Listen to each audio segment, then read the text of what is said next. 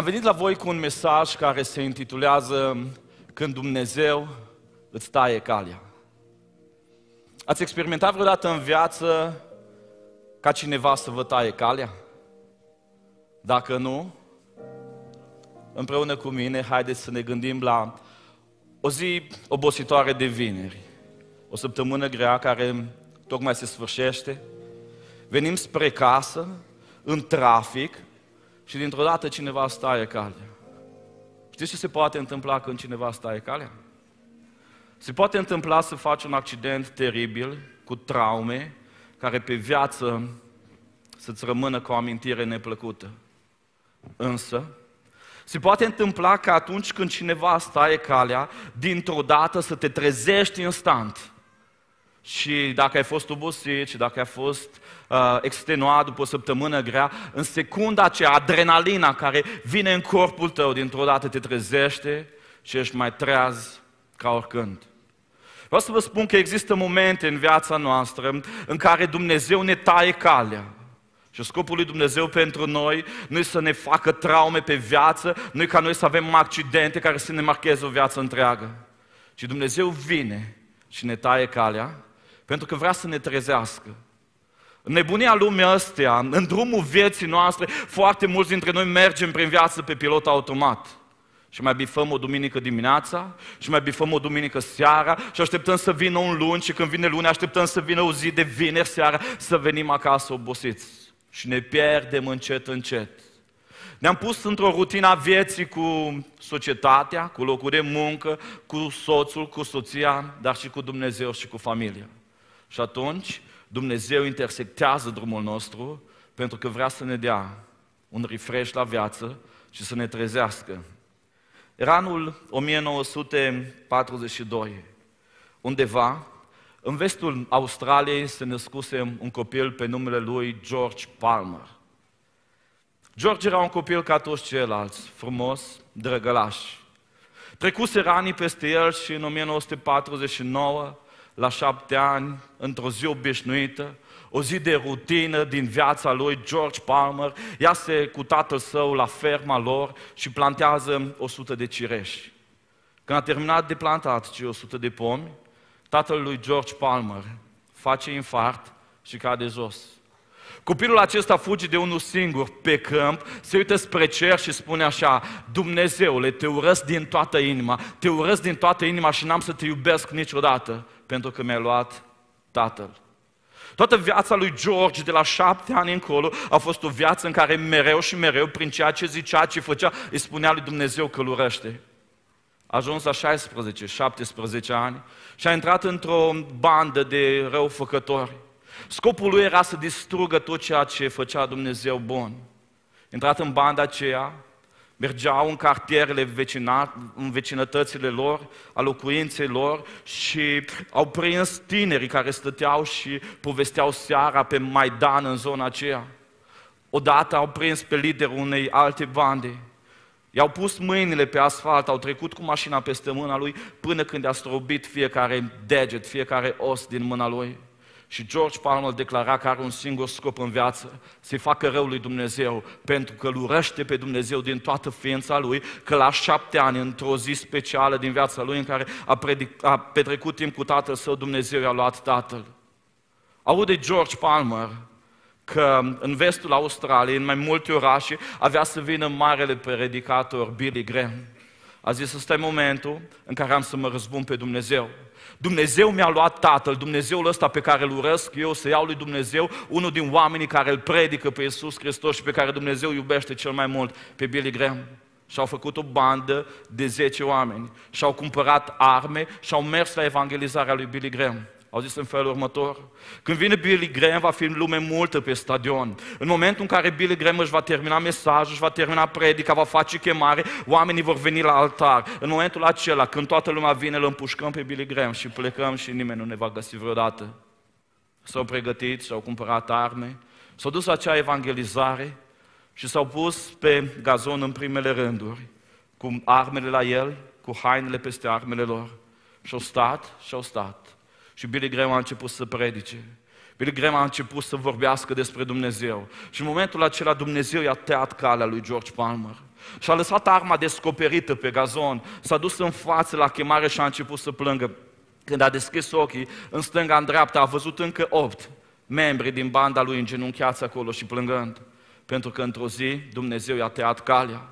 George Palmer a devenit unul dintre soldații din Armata Salvării, un om special, un om care s-a implicat și un om care viața lui și-a pus-o al sluji pe Dumnezeu, 30 de ani de slujirea lui Dumnezeu. Pentru că într-o zi Dumnezeu i-a tăiat calea. Și când Dumnezeu i-a tăiat calea, n-a stat indiferent. În ziua în care s-a trezit dintr-o dată, a știut ce să facă, astfel încât viața lui să fie transformată, schimbată. În seara asta vreau să vă predic despre un om căruia Dumnezeu i-a tăiat calea. Vreau să învățăm împreună ce face Dumnezeu când îți taie calea, dar mai ales ce trebuie să faci tu și ce trebuie să fac eu când Dumnezeu taie calea vieții noastre. Exod, capitolul 3, versetul 1. Moise păștea turma socrului său Ietro, preotul Madianului. Odată a mânat turma până dincolo de pustie și a ajuns la muntele lui Dumnezeu, la Horeb. Îngerul Domnului i s-a arătat într-o flacără de foc care ieșea din mijlocul unui rog. Moise s-a uitat și iată că rugul era tot un foc și nu se mistuia deloc. Moise a zis, am să mă întorc să văd ce este această vedenie minunată și pentru ce nu se mistuie rogul. Domnul a văzut că el se întoarce să vadă și Dumnezeu l-a chemat din mijlocul rugului și a zis, Moise, Moise, el a răspuns, iată-mă. Dumnezeu a zis, nu te apropia de locul acesta, scoateți încălțămintea din picioare, căci locul pe care calci este un pământ sfânt. Și a adăugat, eu sunt Dumnezeul tatălui tău, Dumnezeul lui Avram, Dumnezeul lui Isaac și Dumnezeul lui Iacov. Moise și-a ascuns fața că se temea să-L privească pe Dumnezeu. Domnul a zis, am văzut asuprirea poporului meu care este în Egipt și am auzit strigătele pe care le scotea din pricina asupritorilor lui, căci cunosc durerile. M-am coborât ca să-l izbăvesc din mâna egiptenilor și să scot din țara aceasta și să-l duc într-o țară bună și întinsă, într-o țară unde curge lapte și miere și anume în locurile pe care le locuiesc cananiții, hetiții, amoriții, fereziții, heviții și ebosiții. Iată că strigătele israeliților au ajuns până la mine și am văzut chinul cu care chinuie egiptenii. Acum, vino. Eu te voi trimite la faraon și vei scoate din Egipt pe poporul meu, pe copiii lui Israel.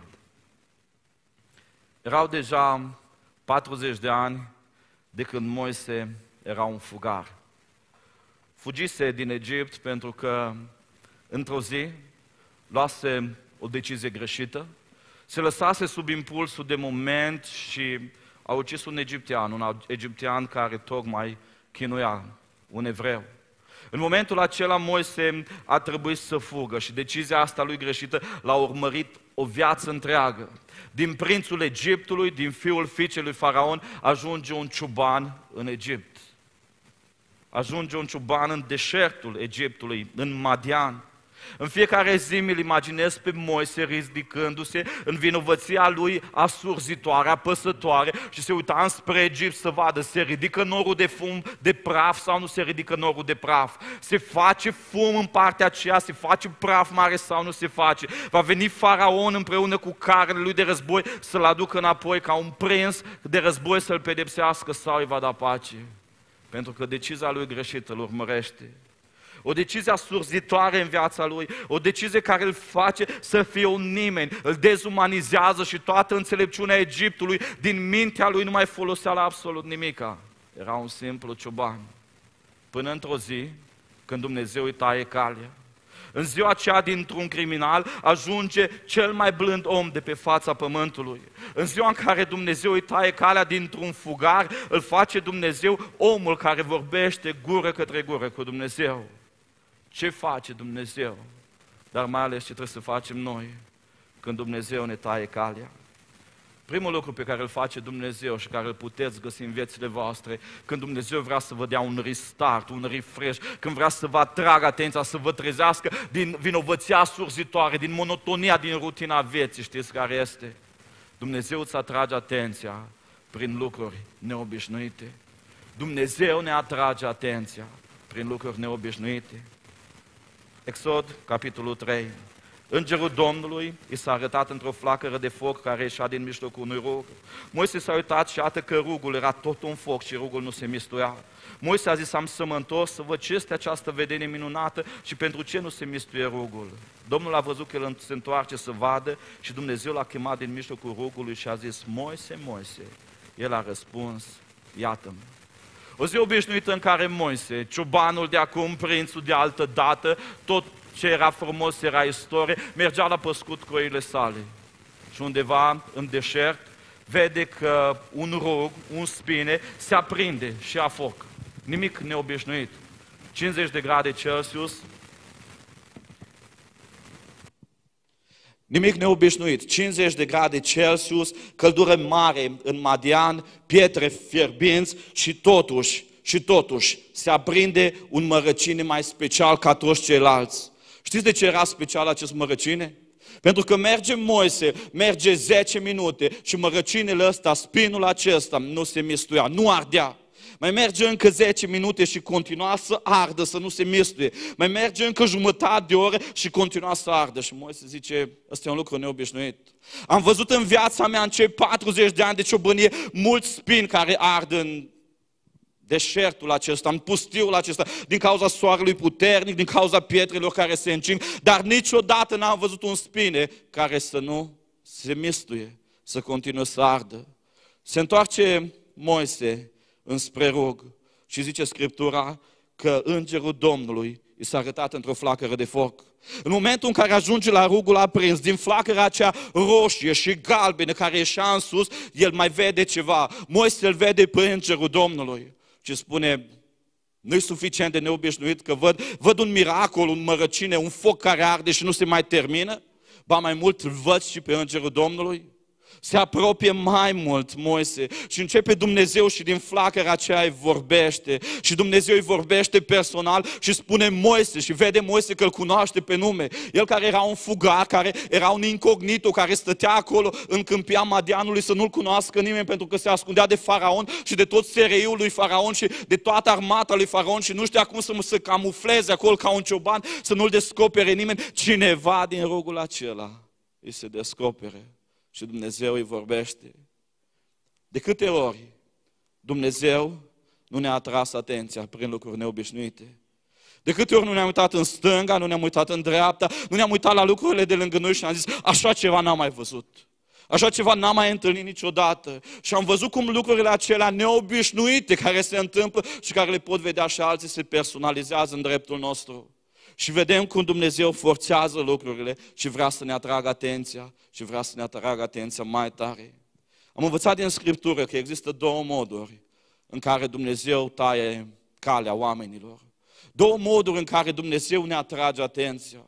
Un mod cuceritor, ca și în viața lui Moise un mod în care ne surprinde cu îngeri, un mod care ne surprinde cu oameni care ne vorbesc exact nouă, cuvinte care sunt exact pentru noi, momente de închinare care vin exact ca un balsam pe sufletul nostru obosit și zicem, da, aici ai Dumnezeu.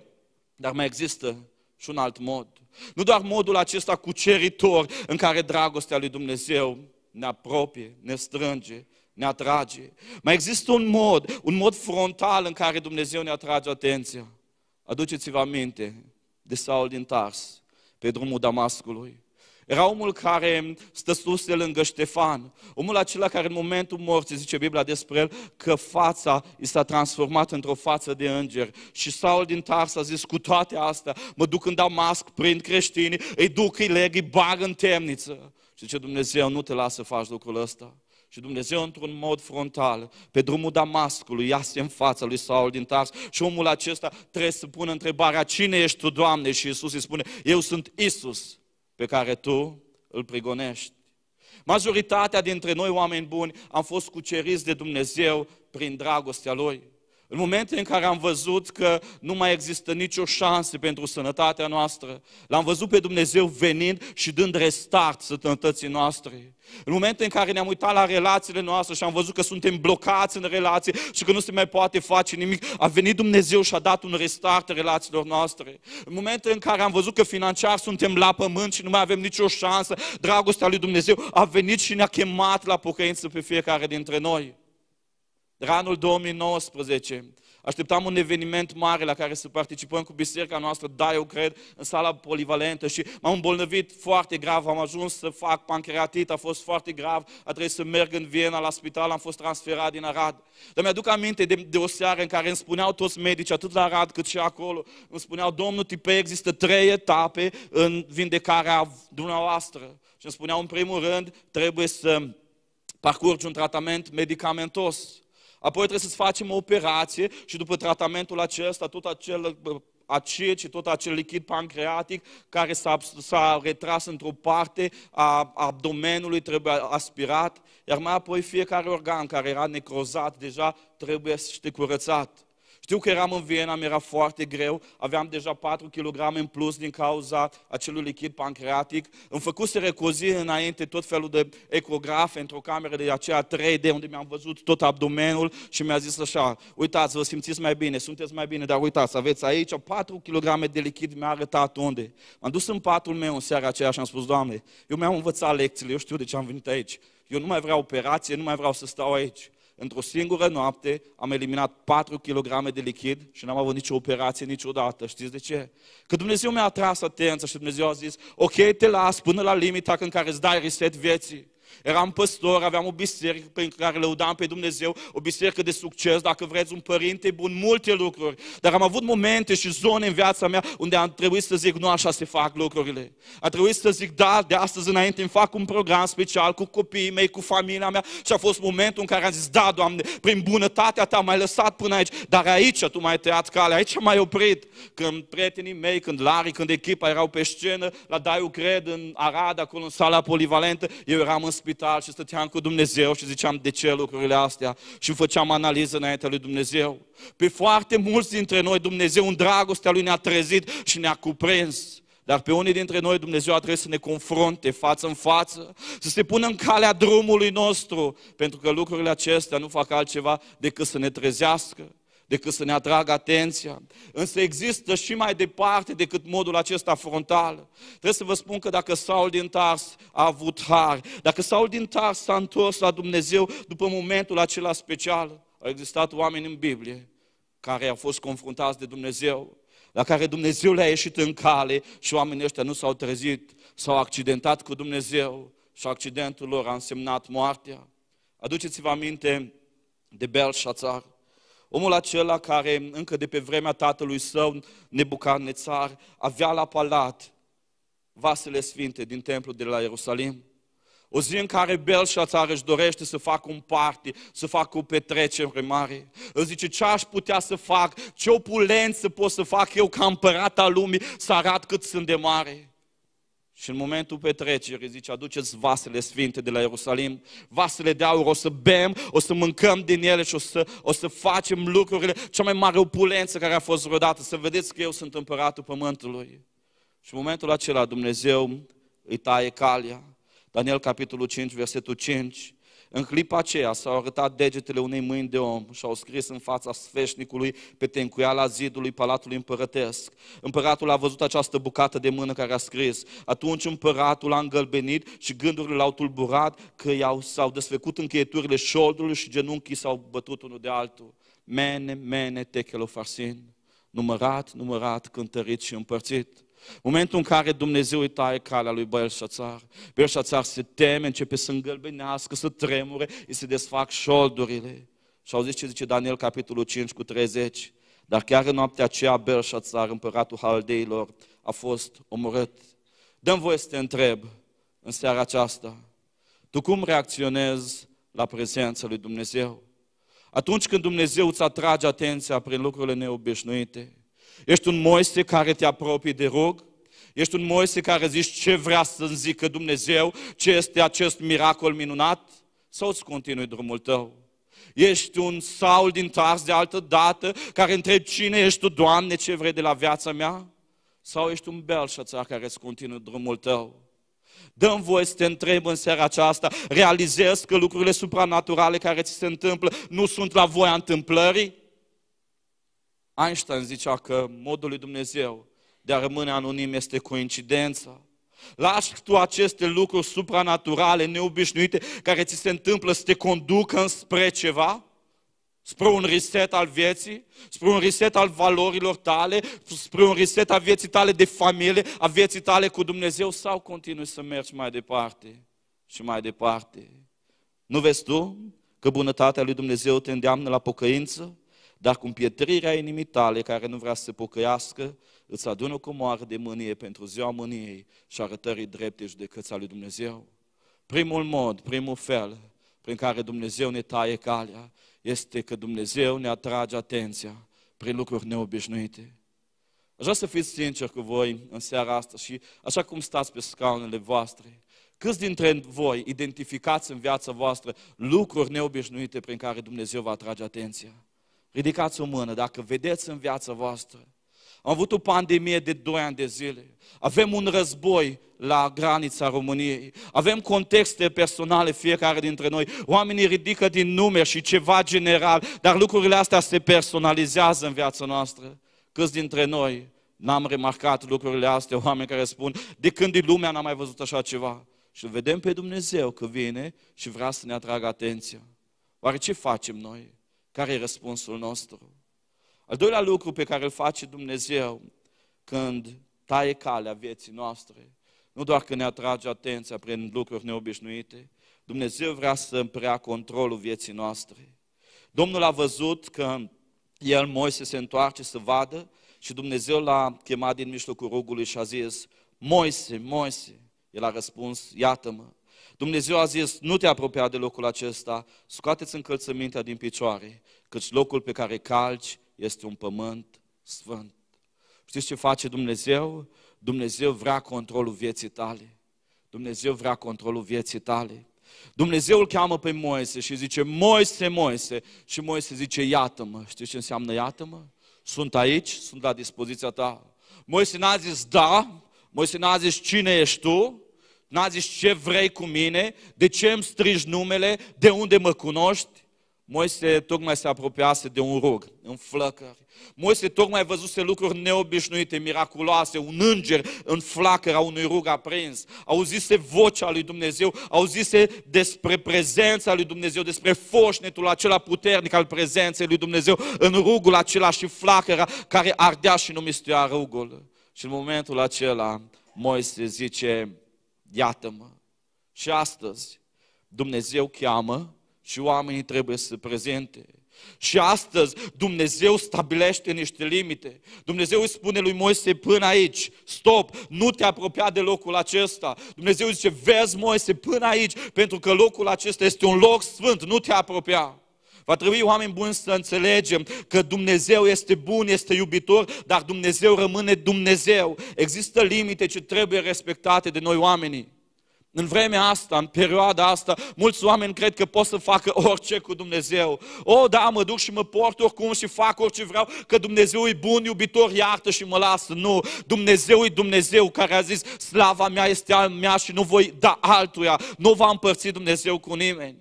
Mai apoi, Dumnezeu se uită lui Moise și ce vreau controlul vieții tale. Ai spus, iată-mă, te-ai pus la dispoziția mea, până aici ai voie să te apropii. Și apoi Dumnezeu îi spune, Moise, Scoateți încălțămintea că locul pe care sta este un loc sfânt. Dumnezeu stabilește condițiile închinării lui Moise. Deșert, pustie, pietre încinse, 50 de grade Celsius. Și Dumnezeu zice, Moise, scoateți papucii din picioare. Ar fi zis Moise, Doamne, îmi scot ce vrei Tu, îmi dau jos șalul de pe cap, îmi dau haina jos, dar nu papucii, Doamne, că mă ard picioarele, pietrele astea sunt înfermântate. Și Dumnezeu zice, Moise, scoateți papucii, scoateți papucii. Dumnezeu ne cere uneori să renunțăm la lucrurile la care ținem cel mai mult în viața noastră, pentru că Dumnezeu vrea toată ființa noastră. Dumnezeu vrea totul sau nimic.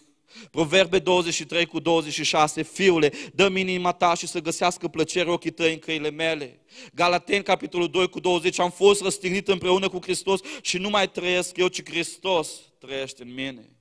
În urmă cu un an și jumătate aproximativ, într-o noapte am descoperit biografia unui om despre care îmi place des să vorbesc. Un om care și-a predat viața de plin lui Dumnezeu, un om care mi-a marcat mie viața atunci când, când am citit biografia și m-am gândit cum o să stau într-o zi în cer cu omul ăsta, un om care n-a mai ținut nimic pentru el. Omul ăsta se numește Florea Cruceru, un om undeva din sudul României, județul Ialomița. L-a cunoscut pe Dumnezeu în 1948, a fost trimis vreo trei ani la canal pentru credința lui, apoi se întoarce înapoi în satul acela din județul Ialomița. Și securitatea îl cheamă și spune, domnule Cruceru, nimeni nu se va angajeze niciodată, aveți cazier, ați fost la canal, semnați, semnați un act de informator cu noi și lucrurile vor fi bine. O să avem grijă să vi se dea un post bun și totul va fi bine. Omul ăsta nu vrea să semneze. El zice, nu sunt o iudă să îmi vând frații. Și începe persecuția lui, o persecuție care a ținut luni de zile. Vreau să vă citesc o parte din biografia lui scrisă de băiatul lui Viorel Crucerul. O zi de tortură în beciul securității. Semnează, semnează, bă prostule, semnează că altfel te omor. Tata s-a prăbușit peste masă din cauza loviturilor de pumn și a bătăilor repetate și a bânguit, abia auzit. Nu pot, nu pot, nu pot să-mi vând frații și a închis ochii. Au aruncat cu apă pe el din nou ca să nu leșne și l-au forțat să ridice capul de pe masă. Era cu ochii tumefiați de bătăi plini de sânge peste tot. Celălalt securist, văzând că nimic nu funcționa, a scos pistolul. Era undeva între ora 12 și 13 după estimările tatei. Trecuseră aproape 5 ore de tortură fizică și psihologică. L-au pus pe masă și l-au amenințat. Atunci o să mor dacă nu semnez. Împușcă-mă. Trupul e al tău, dar sufletul este a Domnului. Securistul a luat pistolul și a ieșit. Probabil că nu avea curajul să tragă. Imediat a intrat Mudava, celălalt securist. De parcă fusese doar o pauză de regie, acesta a scos pistolul și l-a pus direct pe frunte. Semnează dacă nu te împușc. Sunt gata, i-a răspuns tata. Ajunsese în punctul în care ar fi preferat să moară decât să continue bătăile. Auzind răspunsul, securistul a urlat din toți rărunchii. Semnează, semnează! Urla cât putea de tare și striga privindu-l pe tata în ochii înroșiți de sânge. Slab în voce, dar puternic în caracter a venit răspunsul. Nu semnez, Domnule, nu vreau să fiu o iudă pentru frații mei. Dintr-o dată a prins putere și a ridicat capul singur, s-a sprijinit de masă cu ambele mâini și a rostit cu glas tare. Doamne, ai milă de mine, Doamne, nu mă lăsa, Doamne, primește sufletul meu, Doamne, fieți milă și scurtează-mi chinul, Doamne, nu mai pot, nu mai pot, Doamne. Plângea în hohotă necontrolate și se ruga de parcă nu ar mai fi fost altcineva în camera de tortură. Securistul a tras piedica de la pistol și a urlat, aici eu sunt Dumnezeu deși îl dureau groasnic de la lovituri, închisese ochii plini de cheaguri în timp ce plângea și se ruga, aștepta din clipă în clipă să se trezească în cer în fața Mântuitorului drag. Dintr-o dată a simțit o mână pe umărul lui drept și pistolul rece retrăgându-se de pe frunte. A deschis ochii și a văzut că mudava securistul, pusese pistolul în toc și se deduse înapoi lângă zid și stătea în poziția de drept. A întors capul să vadă ce s-a întâmplat. În spatele lui era un ofițer superior. Îl privea cu ochii în lacrimi. De ce, domnul Cruceru? De ce nu vrei să semnezi? Nu pot, domnule. Nu pot să-mi vând frații mei. Nu pot să fiu o iudă. Comandantul l-a privit în ochi și tata a văzut din nou că avea ochii în lacrimi. Domnule Cruceru, sunt aici. Astăzi, mărturia ta m-a făcut să înțeleg că nu va mai trebui niciodată să vii la declarații lunare. O să trimit o hârtie la postul de poliție, să mergi în fiecare, să nu mai mergi în fiecare luni și o să ți se ridice și domiciliul forțat.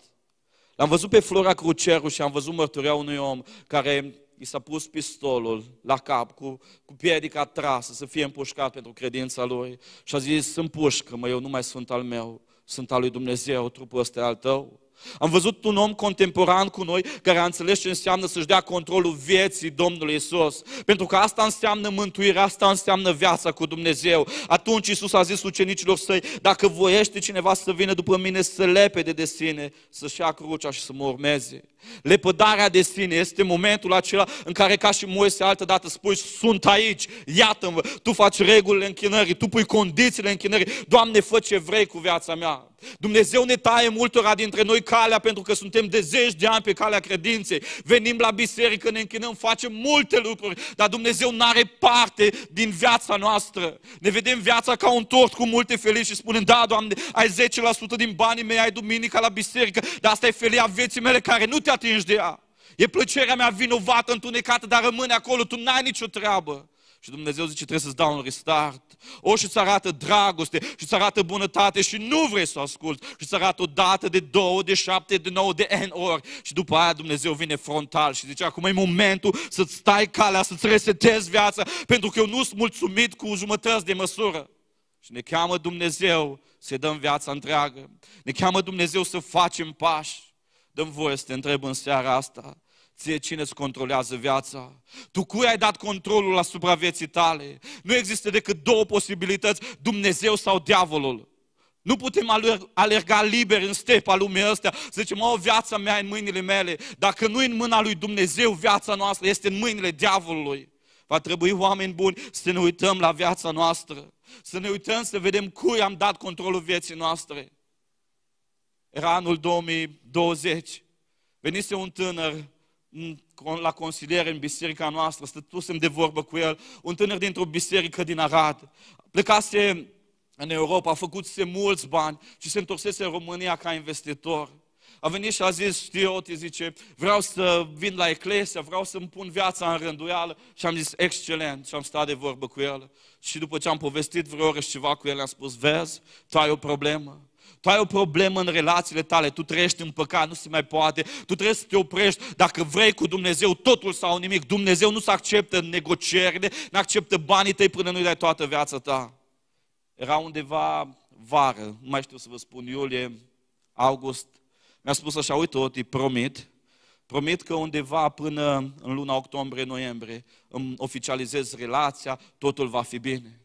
Dar a venit noiembrie, a venit decembrie, au venit luni și au venit luni. Și omul ăsta venea la biserică, se uita cumva așa timurat la mine, dar nu-și oficializase relația. S-a îmbolnăvit. A venit covid s-a îmbolnăvit și a ajuns în spital. Mi-a scris din spital într-un moment în care un pacient de lângă patul lui era intubat și el și colegul lui de salon și știți că atunci când oamenii sunt intubați din cauza lipsei de oxigen, au instinctual obiceiul sau simt nevoia de a-și trage masca, să tragă aer. De fapt, masca le oferă oxigen, dar ei cred că trăgându-și masca primesc mai mult oxigen. Fiind intubați amândoi, colegul de pat și-a tras masca și n-a venit nimeni și n-a văzut nimeni că și-a tras masca.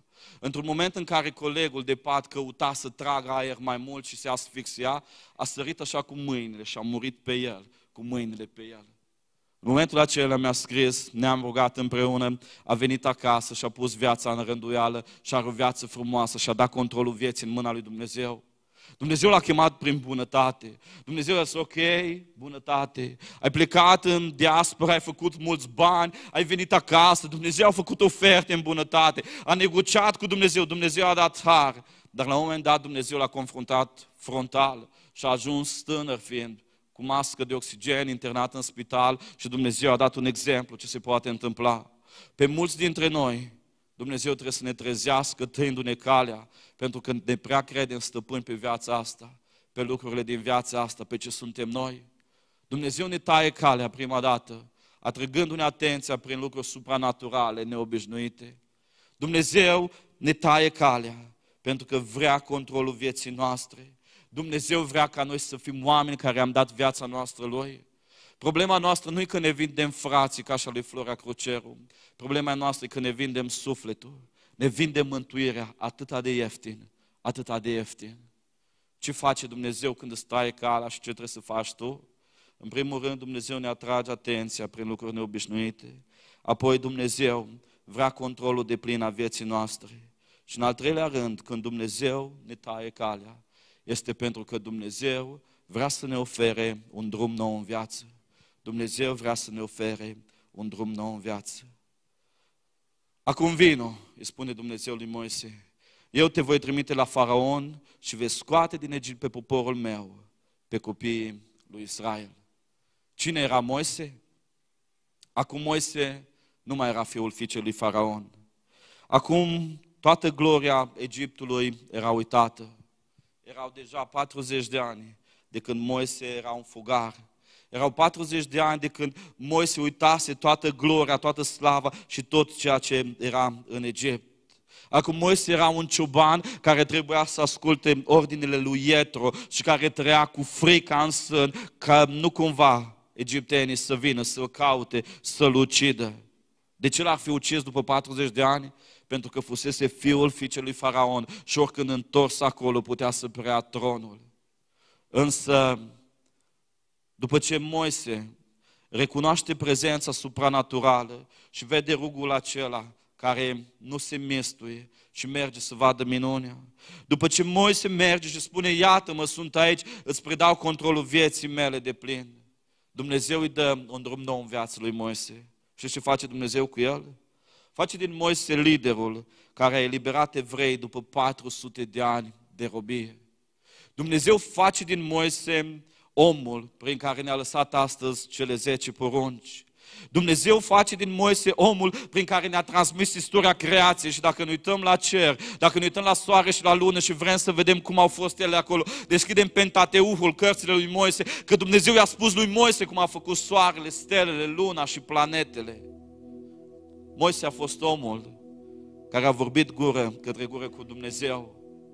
Și poate că cel mai puternic lucru care l-a schimbat Dumnezeu în viața lui Moise este că Dumnezeu i-a dat voie lui Moise să țină loc de Dumnezeu pe pământ. Exod 4 cu 16, Dumnezeu îi spune lui Moise, Aron va vorbi poporului pentru tine, îți va sluji drept gură și tu vei ține pentru el locul lui Dumnezeu. Ce mare lucru! Însă poate și mai mare decât atât. Într-o zi, după mii de ani, când Fiul lui Dumnezeu era pe pământul acesta și trebuia să înfăptuiască mântuirea, să moară la crucea din Golgota pentru mine și pentru tine. Când povara păcatului a păsat asupra lui Isus. Se uită Dumnezeu în cer și zice, pe muntele schimbării la față vreau să trimit doi oameni. Vreau să trimit doi soli din cer ca să meargă, să stea cu Isus. Nu știu ce a vorbit Moise și Ilie cu Isus. Dar știu că atunci când Dumnezeu s-a uitat în cer la toată galeria sfinților, când era acolo Avram, când era acolo Isaac, când era acolo Daniel din groapa curlei, când erau toți sfinții Vechiului Testament, când Dumnezeu alege, îl alege pe Moise și pe Ilie și îl trimit să se întâlnească pe pământ cu Isus. Pentru că Isus trebuia să ducă mai departe lucrarea. O să spuneți bine, bine, Oti. Da, Dumnezeu ne taie calea. Da, ne atrage atenția prin lucruri neobișnuite. Da, vrea controlul vieții noastre. Da, vrea să ne dea un drum nou în viață. Da, asta e despre oameni din Biblie, despre sfinți. Ce drum în viață poate să-mi dea Dumnezeu mie? În urmă cu câteva luni, am trăit una dintre cele mai puternice experiențe din viața mea. Anii aceștia de pandemie au fost ani în care l-am văzut pe Dumnezeu cum și-a dus sfinții acasă. Mulți oameni care mi-au influențat viața în anumite momente, Dumnezeu i-a chemat acasă.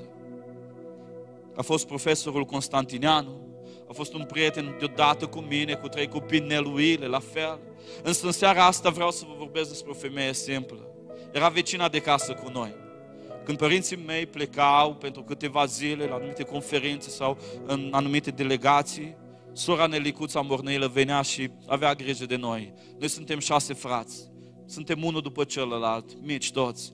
Ea fiind la noi la biserică, venea adesea și avea grijă de noi în zilele două, trei, cât erau părinții mei plecați. Rămăsese văduvă undeva la 30 de ani cu doi copii. Îl crescuse pe Cristi și pe Camelia fără să se mai căsătorească. L-a crescut pe Dumnezeu și i-a crescut pe acești doi copii în frică de Dumnezeu și trăia cu Dumnezeu. Mi-aduc aminte că mergeam pe jos la biserica din cartier, fiind copil, și când veneam, veneam împreună cu ea și cu celelalte surori care veneau spre casă. În urmă cu câteva luni, într-o dimineață, sora Nelicuța ei s-a făcut rău. A sunat repede pe băiatul ei, pe Cristi. Este un om de afaceri din Arad. A ajuns Cristi acasă la ea să vadă ce se întâmplă cu ea și a găsit-o căzută a chemat imediat salvarea, a chemat oameni să vină, i-au dat calciu, perfuzie și sora Nelicuță și-a revenit. Este așa lui Cristi. Te rog frumos să mergi acasă, să mergi la lucru. Cristi a zis, te duc la spital, am posibilități, putem chema, putem merge în privat, în sistem. A zis, nu vreau niciunde, du-te, te rog, lasă-mă. A rămas însă cu sora Nelicuța, fica lui Cristi, Alesia, de 17 ani. Sora Nelicuța merge, merge în baie, face duș, se schimbă, își ia haine curate, își pune batic nou în cap, se pune în pat și o cheamă pe Alesia și zice așa, Alesia, în câteva zile e ziua ta, vezi? Uite acolo un dulap sus, pe raftul acela, sunt banii mei, cadou pentru tine, de ziua ta, să iei de acolo.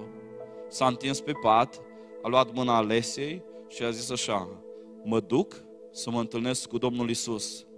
A închis ochii și a plecat. Am predicat la priveg la ea și am zis că îmi doresc să mor și eu așa. Înaintea morții, când unii oameni cheamă uh, toți medicii din lume, când își vând casa, își dau toți banii, se cheme pe toți oamenii, să mai le mai dea câte, câte 10 minute de viață. Femeia asta spune, băiatul ei, du-te, e ok, pleacă. Merge și se spală, se îmbracă, se face frumoasă ca vrea să întâlnească cu Domnul și Mântuitorul ei, cu Isus Hristos. Pastorul Daniel Brânzei povestea despre bătrânul Brânzei, tatăl său. Zicea, era bătrânul Brânzei, tatăl meu, pe pat și ne puneam fiecare zi să-l spălăm, să-l pieptănăm, să-l barberim și noi îi spuneam, tati, da, acum în fiecare zi te chinuim aici, te spălăm, te ducem la baie, te barberim și așa nu pleci nici unde. Și bătrânul Brânzei zicea, aștept cea mai extraordinară perioadă a vieții mele, întâlnirea mea cu Isus Hristos, Mântuitorul meu drag. Știi ce vreau să spun în seara asta? Că Dumnezeu nu stai calea să-ți dea un drum de succes în viața asta, să te facă un mare lider, să fii cineva. O, nu adevăratul drum, drumul nou, știi unde se duce? Se duce în cer, în împărăția lui Dumnezeu. Dumnezeu te pregătește și stai calea pentru un drum nou. Că atâta vreme în viața noastră ne-am căutat drumurile noastre. Am pus pe pilot automat viața cu Dumnezeu și am zis, e bine că mă duc la biserică, e bine că mai fac anumite lucruri. Și trebuie să ne trezească Dumnezeu. Că slujim ca păstori, slujim ca și cântăreți, ca oameni de ordine la media sau nu știu câte feluri, dar viața e pe pilot automat. Și zice Dumnezeu să nu mergi în iad, să nu te pierzi, trebuie să-ți dau un drum nou în viață. Și la început vin lucrurile neobișnuite și vedem contextele cum se schimbă în viața noastră, vedem evenimente care vin în jurul nostru, vedem că nu mai putem controla lumea asta. Și tot mergem înainte. Și le vedem o dată, de două, de șapte, de nouă ori. Și după aceea Dumnezeu vine frontal, se bagă în viața noastră și ce vreau controlul întreg a vieții tale. Pentru că te așteaptă un drum nou. Vreți un drum nou din seara asta? Haideți să ne ridicăm în picioare. Invit trupa de laudă și închinare să vină pe scenă. Și dacă Dumnezeu v-a vorbit în seara asta, și dacă înțelegi că nimic din ceea ce ți se întâmplă nu e la voia întâmplării, că este ceva mai presus decât tine. În momentele acestea te rog să, să închizi ochii înaintea lui Dumnezeu și să spui, Doamne, da, sunt aici, Doamne. Recunosc, Doamne, că mi-am pus viața pe pilot automat.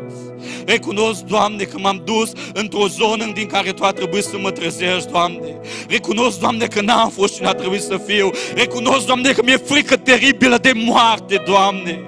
Și că dacă aș fi în locul sfinților acestora, Aș da orice să mai trăiesc o clipă pe pământul ăsta.